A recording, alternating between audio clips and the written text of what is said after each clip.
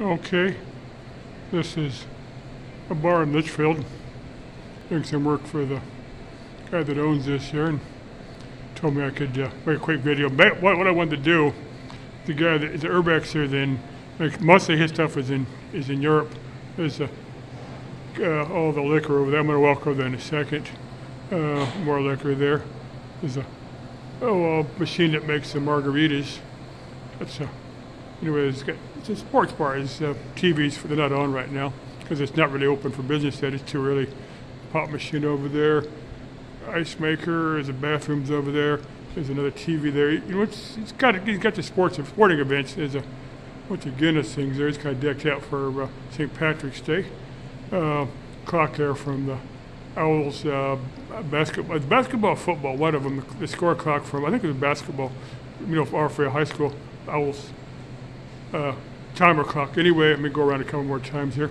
Um, let me walk around here real quick.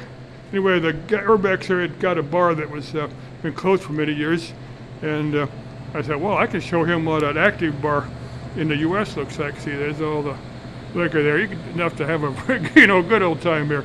Um, oh, Al McCoy. Hey, wow, I got a picture of Al McCoy there. Uh, but if you live in the valley here, you know who Al McCoy is.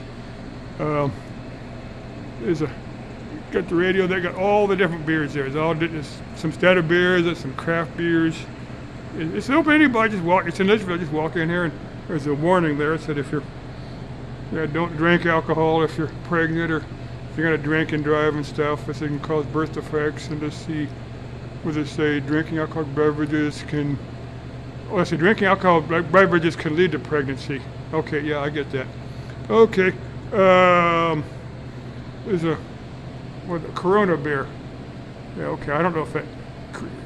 I I got a debate with somebody once if Corona beer is responsible for the coronavirus or if it's a cure. They always think it was a cure, and I said I just don't know if it cures the corona or not.